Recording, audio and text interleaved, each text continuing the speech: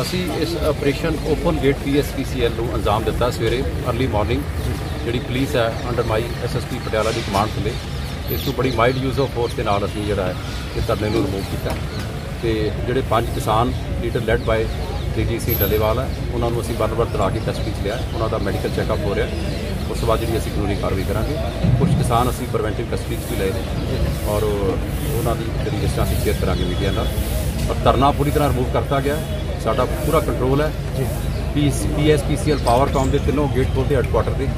ਅੱਜ 7:30 ਵਜੇ ਉਹਨਾਂ ਦਾ ਆਫਿਸ ਸਟਾਰਟ ਹੋਏਗਾ ਔਰ ਆਲ ਆਪਰੇਸ਼ਨ ਜਿਹੜੇ ਉਹਨਾਂ ਦੇ ਬੰਦ ਪਏ ਸੀ ਪੰਜ ਦਿਨ ਦੇ ਅੱਜ ਛੇਵਾਂ ਦਿਨ ਸੀ ਉਹ ਸਟਾਰਟ ਹੋਣਗੇ। ਸਰ ਕਿਸਾਨ ਚਲੇ ਗਏ ਬਾਕੀ ਦੇ ਜਿਹੜੇ ਹਾਂ ਬਾਕੀ ਕਿਸਾਨ ਕੁਝ ਆਪਣੇ ਘਰਾਂ ਨੂੰ ਚਲੇ ਗਏ।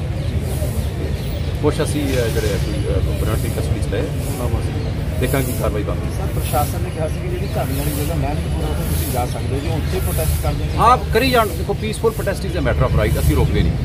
ਠੀਕ ਹੈ ਜੀ ਲੇਕਿਨ ਸੜਕਾਂ ਰੋਕਣੀਆਂ ਦਫ਼ਤਰਾਂ ਨੂੰ ਘੇਰਾ ਪਾਉਣਾ ਐਸੈਂਸ਼ੀਅਲ ਸਰਵਿਸ ਨੂੰ ਬਲੌਕ ਕਰਨਾ ਇਹਦੇ ਨਾਲ ਸੂਬੇ ਦੀ ਲਾਈਫ ਲਾਈਨ ਜਿਹੜੀ ਆ ਬਿਜਲੀ ਉਹਦੇ ਕੱਟ ਆਫ ਹੋਣ ਦੇ ਨਾਲ ਨੁਕਸਾਨ ਹੁੰਦਾ। ਉਹ ਪ੍ਰਸ਼ਾਸਨ ਜਿਹੜੀ ਪੁਲਿਸ ਐਡਮਿਨਿਸਟ੍ਰੇਸ਼ਨ ਅਸੀਂ ਵਚਨਬੱਧ ਹੈ ਕਿ ਇਹੋ ਜਿਹਾ ਅਸੀਂ ਨਹੀਂ ਹੋਣ ਦਿਆਂਗੇ ਸਭ ਦੇ ਕਿਸਾਨ ਬਾਹਰੋਂ ਆਉਂਦੇ ਨੇ ਤਾਂ ਪੂਰੀ ਪ੍ਰਬੰਧ ਨਹੀਂ ਸਾਡੇ ਪੂਰੇ ਨਾਕੇ ਲੱਗੇ ਹੋਏ ਆ ਡਿਸਟ੍ਰਿਕਟ ਬਾਉਂਡਰੀ ਦੇ ਉੱਪਰ। ਜੀ। ਤੇ ਅਸੀਂ ਕਿਸੇ ਕਿਸਮ ਦਾ ਧਰਨਾ ਪਟਿਆਲਾ ਸਿਟੀ ਦੇ ਵਿੱਚ ਲਾਓ ਨਹੀਂ ਕਰਾਂਗੇ। ਸਰ ਟੋਟਲ ਕਿੰਨੇ ਅਰੈਸਟ ਹੋਏ ਨੇ ਜੀ? ਇਹਦੀ ਫਿਕਰਾਂ ਅਸੀਂ ਸ਼ੇਅਰ ਕਰਾਂਗੇ ਹੁਣੇ ਭੇਜੇ ਨੇ ਅਸੀਂ।